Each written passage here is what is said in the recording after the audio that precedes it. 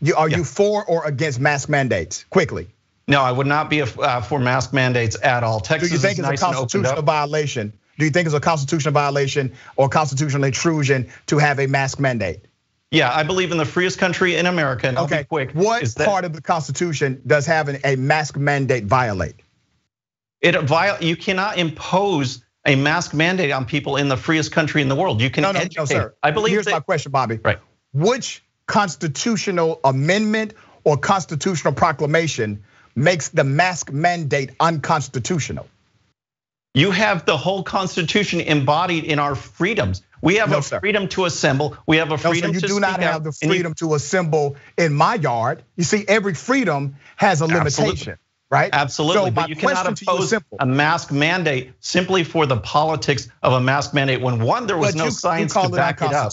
And you don't two, call it unethical. You have to let people have a freedom of choice. Okay. You have to let them Bobby, make their own find decisions. a place in the Constitution that you can say this is why wearing a mask by way of mandate is government intrusion and unconstitutional. Where All can right. you find that? Well, you said you're going to have me back on the program. You want me to find a clause? I'll find a clause. Please but, do do your research. I'm going to go ahead and give you a hint. It ain't there, brother. It's not there. Uh, not people every, will utilize.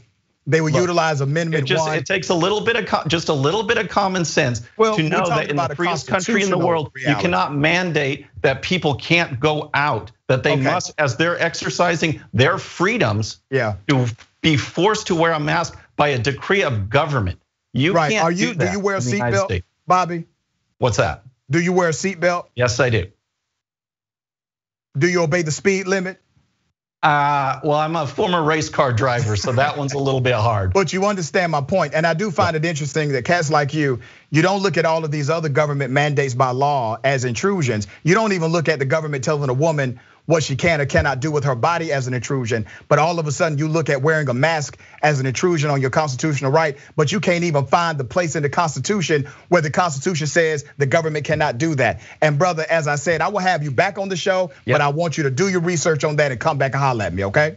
I'll do it. And if you want to talk about the woman's right, you just in that quick sentence, you forgot about the other person's right. Every person See, has a right I'm glad you life. brought that up. And I'm glad you brought that up. And so I will, I will Uh, go to break with this, with this to leave you with, Bobby. Where does life begin? At conception. Why do you say that? Because there's nothing that a woman will do, nothing that will grow okay. in her body where she will produce a All rock right, so I, or a dog I got a break. or a I got fire break, hydrant. I got she will break. produce I just want a you to human remember, being.